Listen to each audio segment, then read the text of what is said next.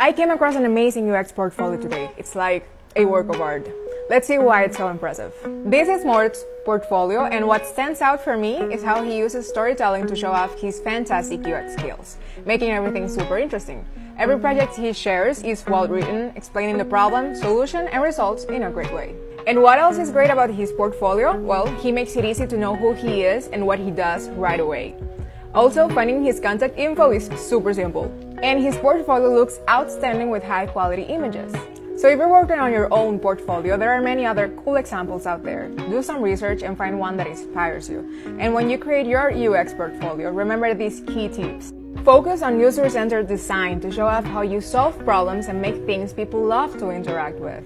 Use clear and simple language that recruiters, managers, and other stakeholders involved can understand. Also, add pictures, videos, or animations to make your portfolio way more memorable.